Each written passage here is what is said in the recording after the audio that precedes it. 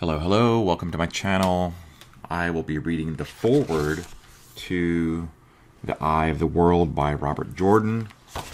The foreword is written by Brandon Sanderson, who wrote the last two or so books in the in the series. And please subscribe if you're not already a subscriber. I would appreciate it. Forward. I used to buy my books at a wonderful little shop called Cosmic Comics in Lincoln, Nebraska. It was a magical place, like a nerdy version of Willy Wonka's mythical factory. Cosmic Comics carried not only comics, but sci fi fantasy novels, board games, and role playing books. Everything that a young teen of my particular disposition could want. When you walked in, there was a shelf on the right where the this where they displayed the new books that had come in, in, in that week. That's where, in the fall of 1990, I first discovered The Eye of the World. I remember it being on the bottom shelf, a little yet enormous paperback. Back then, reading was new to me. I was a late bloomer in this era and was introduced to fantasy literature in the eighth grade by a teacher.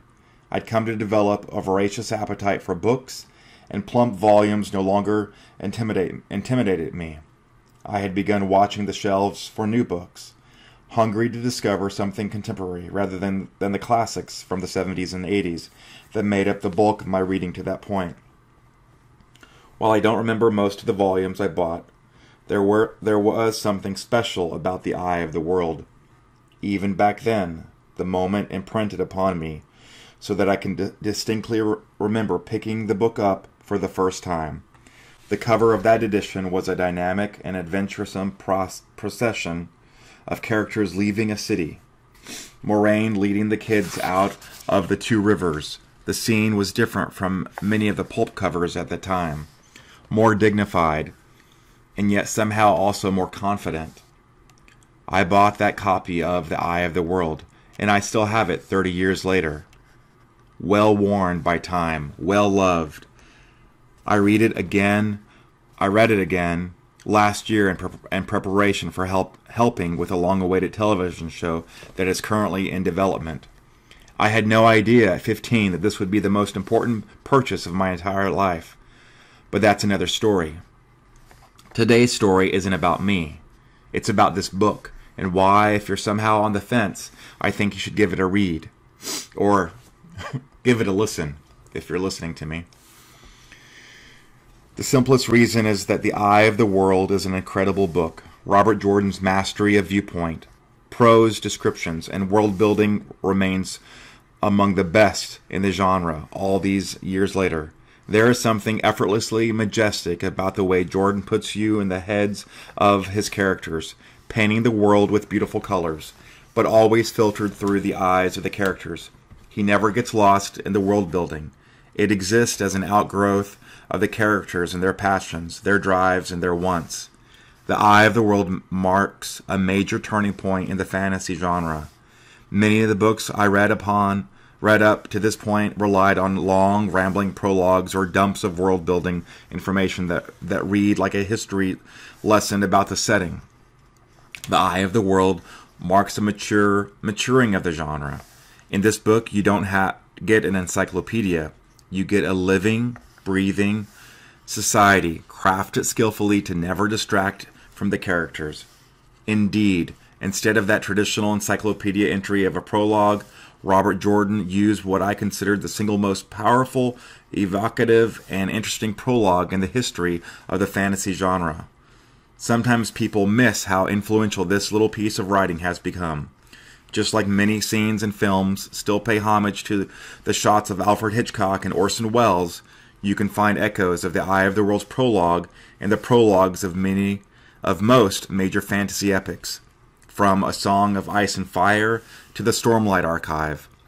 And that is just the prologue. The Eye of the World and the Wheel of Time as a whole is a bridge. It marks the end of one era of fantasy and the beginning of a new one. Through the 70s and 80s, epic fantasy lived deeply in Tolkien's shadow.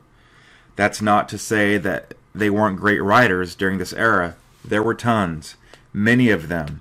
However, spent time exploring what Tolkien had done and seeing what else there was to accomplish and the settings inspired by his work. You'll still find echoes of The Lord of the Rings in the eye of the world. Intentional ones, judging by some of the place names Jordan used. There is a group of young people from a rural town chased by dark figures out of their familiar realm into a world of magic, myth, and monsters. And yet, in this story, there is no ring to carry. The magic is not an object, arcane and mysterious. The magic is the people, and the mystery their own minds and emotions. Instead of a wise demagogue sent to lead the way as had, had, had become common since Gandalf first puffed on his pipe, we have Moiraine, a deeply flawed yet he- heroically determined mentor who doesn't have all the answers. And most important, while there is an evil to defeat, the truly disturbing question is whether our characters will become that evil themselves. Sauron was external, but the Dark One is inside the characters, in their minds, and tainting the very magic itself. I could speak for pages about the revolutionary magic system and the simple yet surprisingly distinctive choice Robert Jordan made by putting a woman in the mentor role of an epic fantasy novel during this era.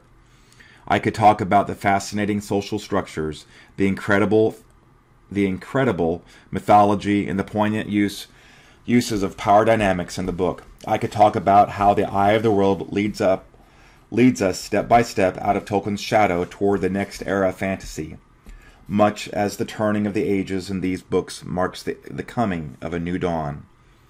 At the end of the day, though, what grabbed me as a 15 year old boy, what still grabs me every time I pick up this book, is the imagination on display.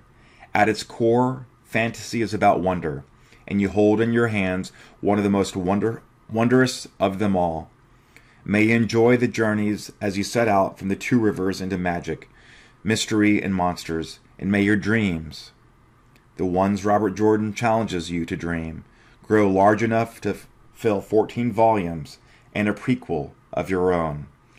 Brandon Sanderson, February 2020. Hey, you guys, if you're still listening, uh, typically every Monday I will come out with a new chapter in this series. Uh, the first thing that I will be uh, reading will be the, the two prologues, uh, Ravens, which is the first one, and then the one after that will be Dragonmount. So those will be coming out soon. Please subscribe. I do post new videos nearly every Monday, uh, sometimes more often than that. Thank you so much.